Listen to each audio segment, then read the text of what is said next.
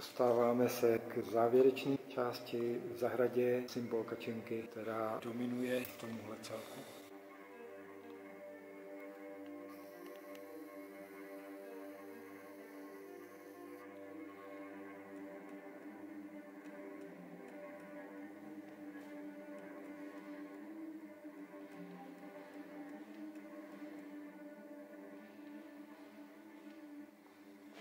Jeden obraz, druhý obraz mě vlastně přivedl k tomu, abych namaloval tenhle třetí.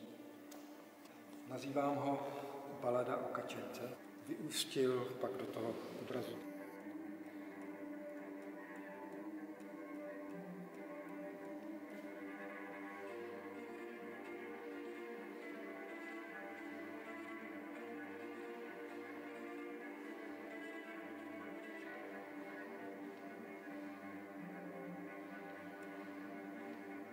Vidíme, že ten spodek s těmi kníny je realisticky a to, co je za ním, tahle část, je vlastně iluzivní.